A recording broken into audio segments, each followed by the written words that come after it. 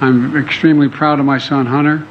He has overcome an addiction. He is he's one of the brightest, most decent men I know, and uh, I am satisfied that I'm not going to do anything. I said I said I abide by the jury decision.